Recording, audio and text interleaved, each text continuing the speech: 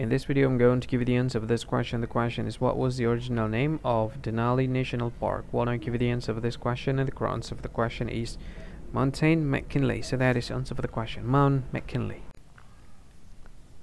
Hi, thank you so much for watching this video. If you find this video is very useful, you can help this channel to grow by subscribing this channel. Please this subscribe button and don't forget to like this video.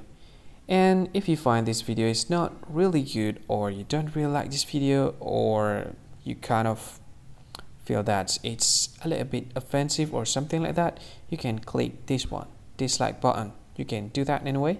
And if you want to share this video with your friend, you can share it by clicking this share button and you can share it to any any social media that you wish that is currently available at this time like Facebook, Twitter, LinkedIn, and many others.